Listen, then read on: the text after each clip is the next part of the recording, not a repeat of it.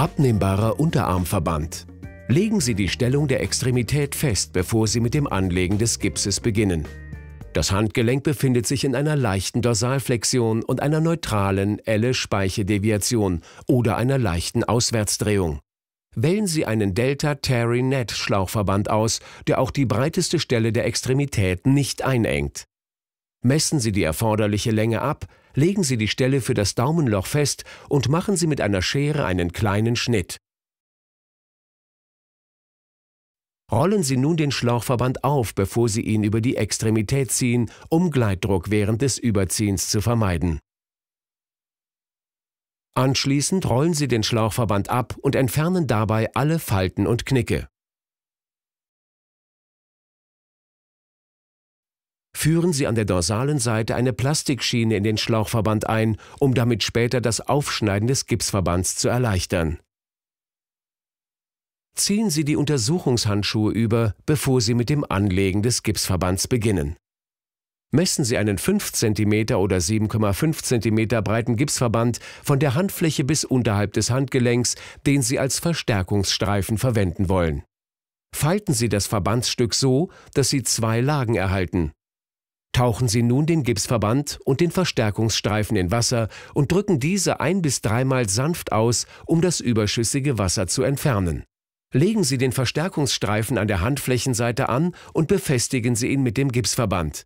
Beginnen Sie dabei am Handgelenk und arbeiten Sie in distaler Richtung weiter.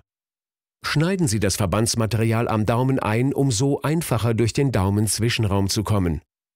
Wiederholen Sie den Vorgang.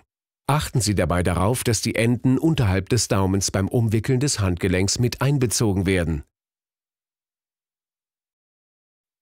Setzen Sie die Anlage in zirkulären Touren mit einer 50-prozentigen Überlappung bis zum Ellenbogen fort und schneiden Sie den Gipsverband dort ab.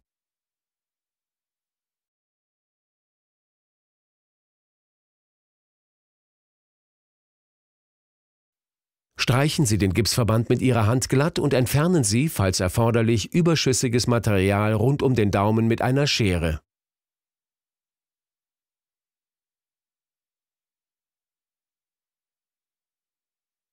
Warten Sie, bis sich der Gipsverband wie eine Eierschale anfühlt und schneiden den Verband entlang der Plastikschiene auf, um ihn dann abzunehmen.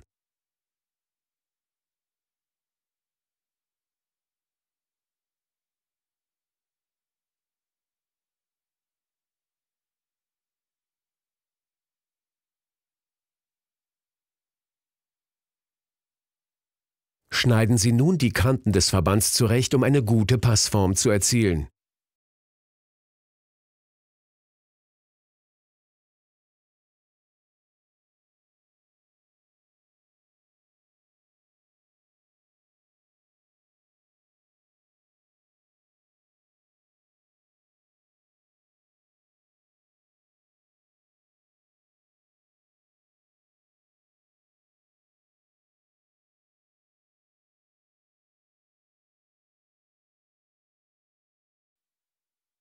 Legen Sie dem Patienten den Gipsverband wieder an, um zu sehen, ob Sie den Verband noch weiter zurechtschneiden müssen und überprüfen Sie gleichzeitig die Bewegungsfreiheit.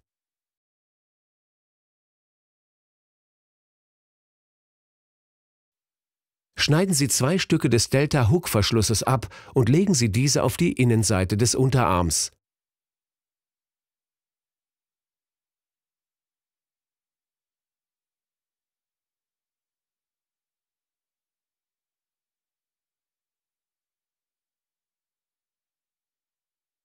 Nun schneiden Sie Streifen des Delta-Loop-Klettbandes ab, schließen damit den Gipsverband.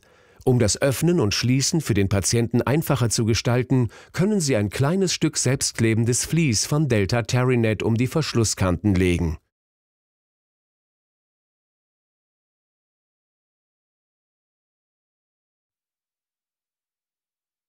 Schneiden Sie ein weiteres Stück selbstklebendes Vlies von Delta Terrynet ab und nehmen den Gipsverband erneut ab. Legen Sie das selbstklebende Vlies um die Schnittkanten des Gipsverbands, um auch hier weiche Kanten zu erhalten. Entfernen Sie die Schutzfolie, legen Sie das Vlies mit der Klebefläche auf die Schnittkanten und falten Sie es an den Kanteninnenseiten der Schnittflächen um, sodass diese komplett von dem Vlies bedeckt sind. So verfahren Sie mit allen weiteren Kanten und dem Bereich um den Daumen. Legen Sie den fertigen Verband um den Unterarm und schließen ihn mit dem Klettverschlusssystem.